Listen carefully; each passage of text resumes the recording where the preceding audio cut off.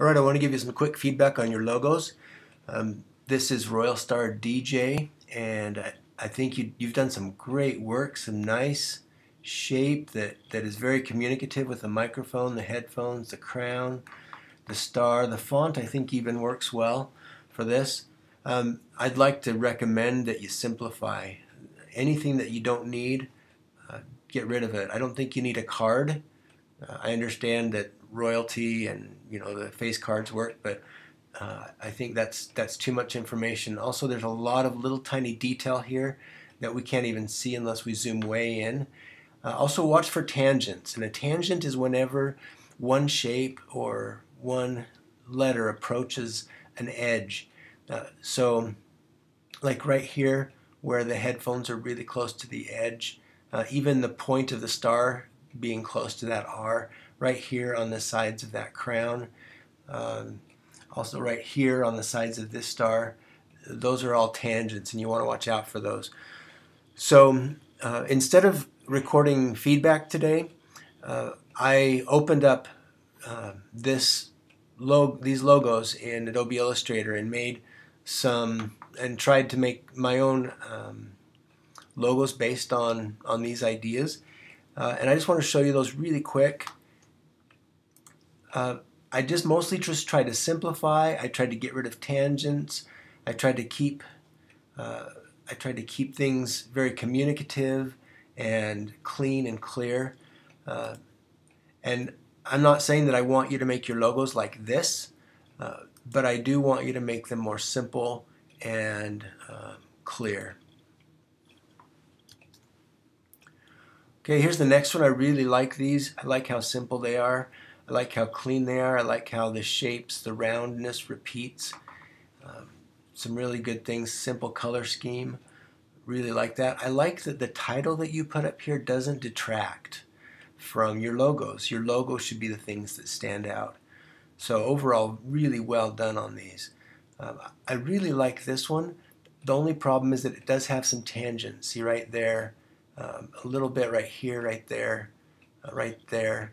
So watch those, even that little corner that pokes up. Uh, really be careful of those areas. Again, nice job on these. I, I don't think the text is, is strong enough on these. I think that, that it could be stronger. This is a nice idea. Uh, the text could really pop out. I can't tell if this if you've put four ideas here um, also, watch out when whenever you see that there's lots of thin, very thin lines, and your logo is made up of thin lines. When you make thin lines small, uh, you you tend to things tend to disappear, and there's not enough contrast. So really watch that. Uh, I, although I like this idea, I think it, it'll need some more contrast, something heavy, a heavy shape. And this is a fairly good shape, but I think that the handle should also be part of that shape. I'm not sure what the critical failure handbook is, but I think I like the idea. It looks like maybe it has something to do with gaming. Um, uh, and I like your your book here. Notice that the this these corners aren't quite right, so they they all need to match the same perspective that you have here. Even these angles are a little bit off. Um, and and your text needs to work more with your logo. The text here feels like an afterthought. There's a proximity issue where the text, these two words aren't close enough to each other. The title is the thing that's the boldest, and it's really drawing attention away from your logos. Um, so, so rethink that and think how you can turn this into an icon. Okay, how can you make the text and the graphic all iconic and all work together in a, a nice gestalt? These are really nice. Uh, I'm not sure about the color schemes they don't they don't feel like baseball to me. They they feel too soft. Um, I don't like that this text is center aligned. I think the the left aligned text is a lot stronger. Uh, since you've got a curve here, I wonder if you should try a curve on your text, just a little one, you know, just a slight slight curve. Uh, you might try refining this and simplifying this. I really like it. I like how communicative it is. So good job on that a great start here on, on these. Uh, again, very communicative. You do have some tangents right there. I would bring these together somehow. Right now, the arrow and the housing, They, they don't feel like they're a unit. Uh, this is a nice idea, uh, but I, think it's just the start of the idea. I think it's still a little bit simplistic. Same thing here. Uh, but keep pushing this. I, I think you're on the right track. Watch proximity. Notice how the part of this word is so far away that it doesn't feel connected. Wow, these are really good. I, I like these a lot. Um, this almost has, it almost feels like a cookie. And that, I'm sure that's what you're going for. I think it's a little bit too sharp in some places. And maybe some chocolate chips, kind of like you did down here, might, might help it. But this is my favorite one. Um, this is nice, but the colors seem odd. Green and purple don't seem like cookie colors. Um, this is nice too, but it, it's a little simplistic. Uh, I think this is probably your strongest idea.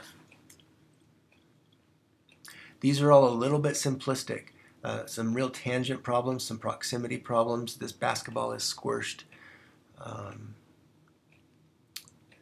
this I like how simple it is. Uh, it borders on simplistic. What can you do to make it unique? The logo has to be, there's got to be something about it that makes it pop and stand out. And right now, nothing's standing out there. Um, I've talked to you, Victoria, about your logo, so I think I'll just skip this one. You've got some nice things going on. Um, keep pushing on them. Um, same here, a little bit simplistic. It's a good start. You do have some tangents. You have some good contrast. This big S, that's great. Uh, I don't know that it feels like spuds, though doesn't feel like Idaho or Spuds. So it feels a little bit more like a sports team or something. But do watch the tangents and, and think, how am I going to communicate? Oh, it's a baseball club. Oh, that makes sense. Okay. So, yeah, it does feel a little bit more like a baseball club. Um, watch the tangents here wherever the, the words overlap each other. You, you get some, some visual tension.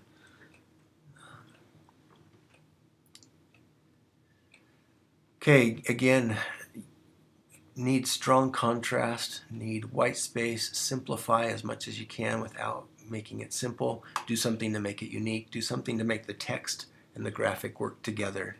These are really strong. There's great contrast, uh, great, uh, how do I say, it's very communicative. Watch the spacing here. The spacing is really important. All these letters should feel like they're the same amount of space apart you see how the FR feels like it's farther away from the E um, than it is, the F is, anyway, the space between the F and R is, is smaller than the space between the R and the E, and etc. This A is way out in, in left field or right field. But very nice overall, really, really strong, some good shapes in there. Um, there's a good start here. I love how simple this is. Can the text and the graphic work together more? Can you can you keep this simple and and move away from the simplistic? I guess. Uh, make sure the title doesn't take away from the logos. Uh, see how this size is about the same as that size? Don't don't do that. I don't mind if you put the title up here in the center either. And then yeah, text and graphic help them work together. These are nice simple shapes, but they're bordering on the simplistic. Uh, I don't think the road is working here very well. Um, again, some nice concept, but a, a little simplistic. Uh, the text needs to be stronger. The typography needs to be more a part of the graphic so that it's all iconic. Here, too small. If we put this on a ballpoint pen, your text will totally disappear. Wow, these are really good. I'd love your text to be stronger though. But yeah, nice job on these shapes. Um, so elegant and, and nice use of color scheme, simple color scheme, contrast. Uh, don't let this title be the strongest text on your on your um, project. This should be minimized and this text needs to pop. Same thing. This text needs to be minimized. These need to pop. These are very hipster looking logos. Um, and I don't mind that. Uh, you should Google um, how to make a hipster logo, and I'm not sure that you'd use that, but um, it's it's kind of funny anyway. There there are some good things going on here. There's some tangents up here, so be careful with that. Uh, I like that the C bleeds out of this black box so it doesn't feel so trapped, but here it's trapped. And here these words are trapped, so watch that. Um, this is this is a nice idea, but your sun is, is a little bit simplistic. Um, this is nice hipster, very uh, typical hipster logo, but you want to do something to make it more unique with the, the typography and the graphic. These are really strong. Um, you do have some tangents here that you want to be careful of. Putting a little black shape behind this word, especially where there's uh, a shape like that, that very light outline, uh, that can help um, some, those tangents. This is a great font here. This yellow doesn't work at all on white, on the white background. Uh, this is nice, but the typography doesn't feel unique enough but good start. Really, three really strong, um, strong starts. I, it looks like the color scheme is is giving you some fits, and that's okay. For the final, you don't need to worry so much about the color schemes. These are strong DJ logos. They look very uh, DJ-esque. Uh, keep them simple. Keep them clean. Keep the color scheme simple. If you can eliminate anything, do but really strong. Um, nice job here, a little simple. These are a little bit, uh, not too simple, I mean simplistic. These are very similar. You know, for the draft, you, you, sh you should do more brainstorming. Uh, your, your logos are all kind of the same idea. So watch that. Watch tangents where things get too close, uh, like right there and right there. Uh, I like these O's. That's that's creative or unique anyway.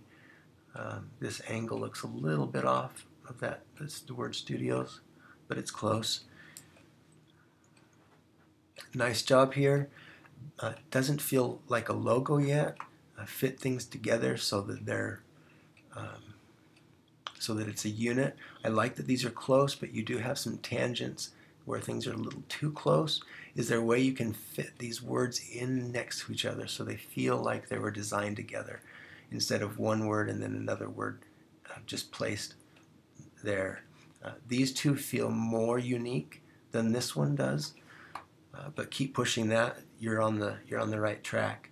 Um, pay attention to this shape here. This hanger shape is really important. I think clothes would mostly just slide off of that. You might need just a little bit different shape here. Some good contrast in your text, by the way, at, on this first one and second one. Okay, that's it for the logos.